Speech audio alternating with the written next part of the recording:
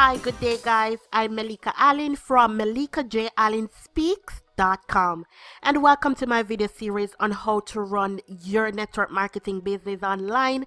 And not only that, your business online. Now in my last video I showed you how to get royalty free music to add to your video backgrounds and if you haven't seen that video yet check the annotation above or the description box below.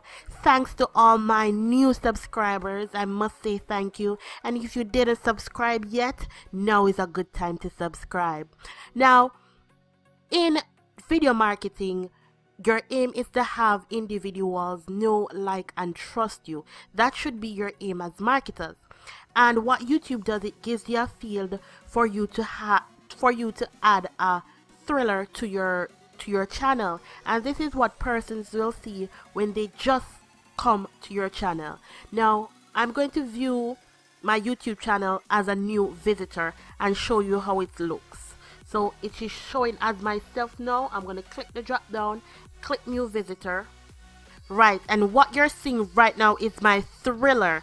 This is my introduction to have other persons know what my channel is about why they should subscribe and what I'm about overall. So let's just see the trailer and how it works. Once you're on the channel it will start playing automatically. It says my name what I'm about My trailer is one minute long. It's not anything long. It's just a brief introduction of who I am and what I'm about and where persons can find me and why they should subscribe. How they can connect with me. Instagram, Twitter. And that's it. Now I'm going to show you how to add a trailer to your YouTube channel to get more subscribers and also to get other people to know what you're about, who you are as a person, right? So you are going to click on, you're going to go to your homepage. Okay, so I'm going to show you how to add a trailer to your YouTube account. You just click on settings.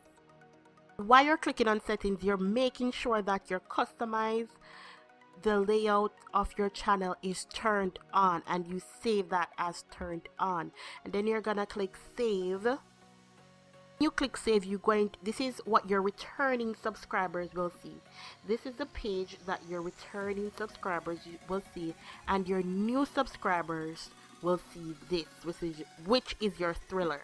So you can add your trailer right here. You can edit your trailer. You're gonna see this little pencil. You click on this little pencil and you click add trailer. That is what you're gonna see for your trailer because mine is already added. And if you want to change your trailer you can click this change the trailer. And you can also add a new upload that you want most of your subscribers to see or your your your new subscribers or persons that are visiting your account. So that is simply how you add a trailer to your account. Thanks for stopping by. I'll definitely see you on the next video and on the beaches